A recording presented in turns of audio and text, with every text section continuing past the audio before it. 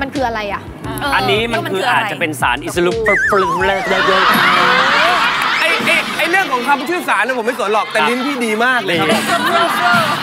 ต่างประเทศชอบ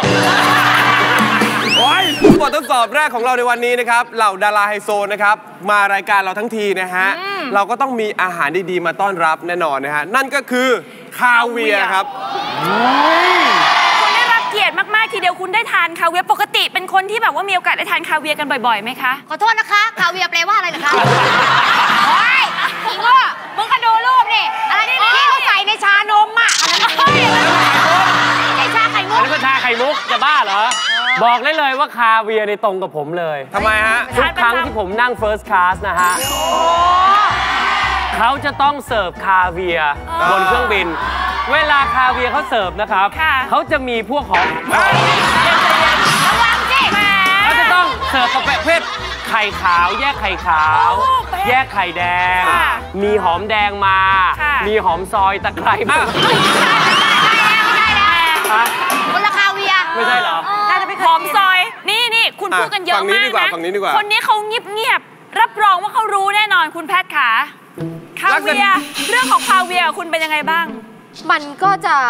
มีความเม็ดเล็ก เม็ดเยอะไหมเม็ดเยอะ เม็ดเยอะแล้วสีก็อะไรเม็ดเล็ก สีอะไร สีจะเป็นสีแบบเมื่อกี้ นี่มันแยกออกใช่ไหมระหว่างคาเวียร์กับอะเม็ดแก้วมังกร เออนะอะจริงๆต้องบอกว่าคาเวียร์นั้นมีหลากหลายประเภทมากค่ะ แล้วก็มีหลายเกรดหลายราคา แต่ว่ารายการของเรานั้นมันไฮโซมากๆ ดังนั้นเนี่ยเราต้องหาสุดยอดคาเวียร์ที่ดีที่สุด มาให้ทุกคนได้ลิ้มลองกันค่ะ ให้ทดสอบในวันนี้เนี่ยนะคะ บอกเลยว่ามันเป็นคาเวียเบลูก้าระดับพรีเมียมที่มีราคาสูงถึงกระปุกละ 1 5 0 0 0 0 บาท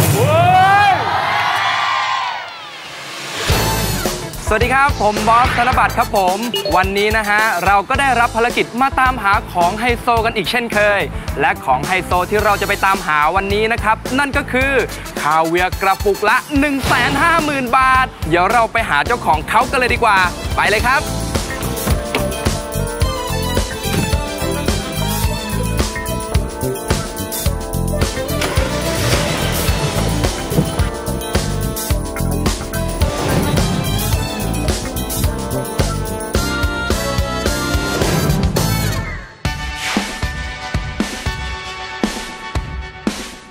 สวัสดีครับพี่เคสวัสดีครับน้องบอสครับสวัสดีครับโอ้โหนี่ใช่ไหมครับพี่เคคาเวียร์มูลค่า 150,000 บาท นี่เลยครับที่พี่เตรียมไว้ให้แล้วโอ้โหความพิเศษของคาเวียร์กระปุกนี้นี่ยังไงครับ อันนี้มันจะเป็นอาเบลูก้าคาเวียร์กว่าที่เราจะได้ไข่มาต้องใช้เวลาถึง 10 ปีโอ้โหสิบปีเลยเหรอครับ ถึงจะได้ทานกัน 10 ปีเลยครับอืมอร่อยสมราคาจริงๆครับ แต่ว่าวันนี้เนี่ยเราจะมีคาเวียร์ทั้งหมด 3 กระปุกด้วยกัน มาให้พี่ๆดาราได้ทายกันละครับว่าคาเวียร์กระปุกไหนมีมูลค่าสูงถึง 150,000 บาท เราจะมีคาเวียร์มาฮะมาให้ทดสอบกันทั้งหมดนะครับสามกระปุกด้วยกัน ซึ่งใน 3 กระปุกนี้นะฮะมีกระปุกหนึ่งราคา 1 5 0 0 0 0 บาทนะฮะและมีกระปุกหนึ่งนะฮะที่เป็นของปลอมเลย และในบททดสอบนี้ค่ะ คนที่จะต้องมาเจอกับบททดสอบในข้อนี้ เชิญคุณแพทย์คุณบอย คุณดรีม แล้วก็คุณน้ำตาลค่ะเชิญครับเอาให้ชนะนะได้เลยค่ะพี่ ไม่ถนัดเลยอะไม่ถนัดอะไรฮะเออถ้าเป็นไข่แมงดาค่อยว่ากันเชิญค่ะเชิญค่ะคาเวียร์คาเวียร์นี่แหละวันนี้คุณจะได้กินเรียกว่าเป็นคาเวียร์กระปุกละ1 5 0 0 0 0 บาท ลองจดจำรสชาติของแต่ละกระปุกเอาไว้ให้ดีนะคะเอาละครับ พร้อมแล้วนะครับ ค่ะ มาเลยครับคาเวียร์กระปุกแรกครับ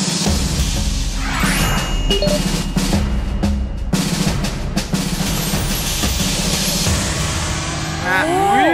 กระปุกใหญ่ด้วยอะใหญ่ด้วยนะ ไม่รู้ไข่แมงดาเลยอะ อันนี้เหมือนไข่แมงดาจริง อันนี้เหมือนไข่แมงดาเลย พี่บอยนะให้ทุกคนอย่าได้ลืชิมมเลนะยฮะ ค่ะ มีกระปุกหนึ่งนะฮะหนึ่งแสนห้าหมื่นบาท ปกติเนี่ยการทานคาเวียร์ให้ได้แบบว่ารสชาติที่แท้เป็นจริไงงเนี่ยนะคะ เขากะจะชิมกันแบบเพียวๆก่อน แต่บางคนเนี่ยจะให้กินแบบง่ายขึ้นเขาก็จะกินคู่กับแครกเกอร์อะไรแบบอร่อยนี้มากแป๊บอร่อยอะ รู้สึกแตกต่างจากที่แม่แกงส้มให้กินที่บ้านไม่ใช่ไข่อันนั้นแบอับนนั้นเรียวไข่เชีปยลาวเรียวเซียวโอเคโอเคโอเคอืมอันนี้ดีนะรสชาติมันครีมมี่หน่อยนะฮะ เป็นไงชิมเข้ามัไปนจะแล้วมันๆหน่อยเนาะอ่าแล้วมันรู้สึกไม่ขาวมาก อร่อย อร่อย อร่อยผมรู้สึกว่ามันเป็น creamy เหมือนที่ เนี่ย เรารู้สึกยังไงคือก่อนอื่นเราก็ต้องเคลียร์เศษขนมปังเดี๋ยวเดี๋ยวอันนี้ไม่ใช่น้องเลสซิ่งแหมดูแลเป็นลูกเลย เป็น creamy ครับ แล้วก็ ผมว่าสำหรับผมยังคาวอยู่นิด อันนี้ยังคราวอยู่คราวอยู่นิดนิดๆเมื่อกี้ใครเข้ามาปุ๊บเมื่อกี้เห็นบอกว่าทำไมมันไม่ใช่สีดำเออปกติคุณบอยบอกว่ามันน่าจะเป็นแต่สีดำแต่ไม่แน่นะจริงๆเนี่ยอย่างที่บอกว่าปลาสเตอร์เจียนเนี่ยนะฮะเออเบลูกาสเตอร์เจียนอะไรวะมันก็มีหลากหลายสายพันธุ์ แล้วราคามันก็มีตั้งแต่หลักพันยันแสนห้าเนี่ยถูกต้องซึ่งเราก็ไม่รู้ว่าสีของมันมันอาจจะมีความแตกต่างก็เป็นได้ปกติต้องบอกก่อนว่าตันไม่ค่อยกินอะไรแบบสดๆแบบนี้แล้วก็ไม่ชอบไม่ค่อยชอบกินไข่ปลาค่ะปวดขาแต่ว่ารู้สึกว่าไม่ได้คาวอย่างที่คิดมากอ่าก็เลยคิดว่า น่าจะดีเคี้ยวอะไรอยู่อะคายออกมาก่อนเนี่ยอ๋อไม่ใช่ฟันเหยินเล่นเองเลยเอาละครับกระปุกแรกผ่านไปแล้วนะฮะมาเลยนะครับคาเวียร์กระปุกที่ 2 ครับ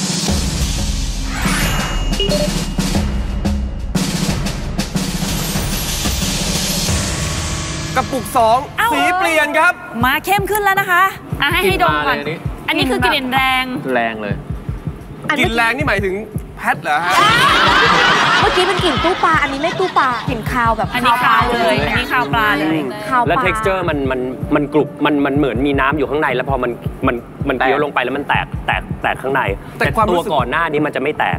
ลองหน่อยแต่ก็ไม่แน่นะ รีบชิมกันนะคะทางนี้หิวข้าวแล้วค่ะเค็มมากอะเต็มรสชาติเหมือนปลาช่อนแดดเดียวอันนี้สระบุรีไหมสระบุรี แต่อันเมื่อกี้ไม่แตกแล้วอันนี้รู้สึกเป็นกลิ่นปลาสลิดจริง ๆ ด้วยอะค่ะคุณใช่ไหมอันนี้คาวกว่ากลิ่นคาวเค็มอันนี้มันอร่อยคนละแบบเลย ใช่เอาล่ะกระปุกที่ 2 ผ่านไปจำให้ดีนะฮะว่าแตกต่างจากกระปุกแรกไงนะฮะอย่าเลือกกระปุกที่เป็นของปลอมแล้วกันถูกคาเวียร์กระปุกสุดท้ายครับ มาครับ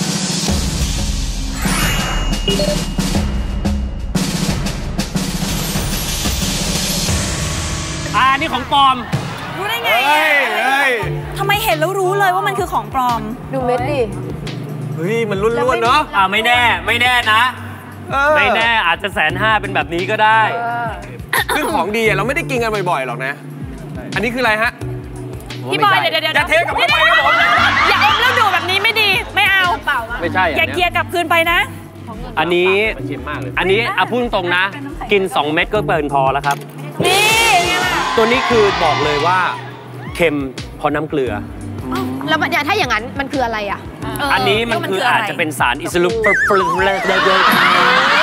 ไอ้ไอ้ไอ้เรื่องของคำชื่อสารเนี่ยผมไม่สนหรอกแต่ลิ้นพี่ดีมากเลยครับผม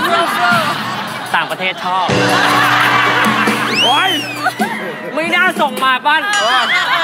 มันเค็มโดดกว่าอันที่สองครับ อันที่สองอะจะมีกลิ่นทะเลอยู่หน่อยแล้วเม็ดมันใหญ่ๆๆแต่อันคือนะเค็มแบบ เค็มเหมือนน้ำเกลืออย่างที่ texture ที่ขบองอยอันบอนี้กเป็นยังไงคะ texture รสสัมผัสมันเป็นยังไงไม่ไม่ได้แตกออกมาเป็นน้ำอย่างนั้นเนอะแล้วมันลื่นๆอะอ๋อ อันนี้ลื่น ๆ ด้วย ลื่นคือพูดตรงๆนะ ตอนนี้เนี่ยนั่ง first class ตลอดเวลาตัดสินลำบากแล้ว ปกติกินแต่ไข่กุ้งตลาดลังสิตอ้าวคุณนั่ง first class ตลอดเลยคุณไม่ใช่ดิ เราอะ First พา class ภรรยาเนี่ย โอ้โห บินไปรอบโลกแล้ว นครชัยแอร์เขาไม่ได้แจกฟังไม่จด ไม่ได้ไปเครื่องบินจำได้แล้วใช่ไหม ว่ากระปุกนี้แตกต่างจากกระปุกหนึ่งกระปุกสองยังไงครับค่ะ เชิญกับที่แล้วปรึกษากันได้เลยครับ